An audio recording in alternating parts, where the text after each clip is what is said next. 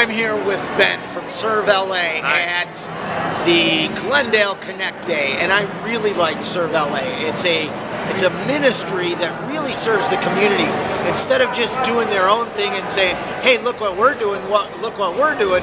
They go in the community like here, and this isn't their church. This is really a nonprofit government type function, and you're here helping. Tell me about it. Tell me about Serve LA. Well, Serve LA is basically we're a group of people who like to look into our cities and into our neighborhoods and find the people that are already doing beautiful, wonderful things and just help them, help prop them up and help their effort rather than it being the focus on us. And, and he's a volunteer. He's running this, and it's all all volunteer. All volunteer. So how? Our, our currency is love and compassion. Ooh, I like and that. I'm rich. I Rich. like that. And this is, you know, many of you guys that follow me, this is exactly what I'm talking about. We need more organizations helping other more organizations.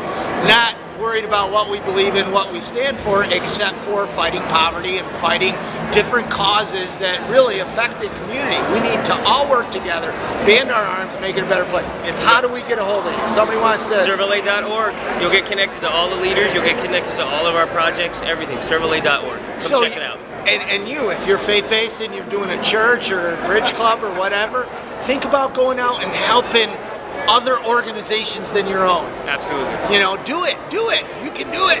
Be the change.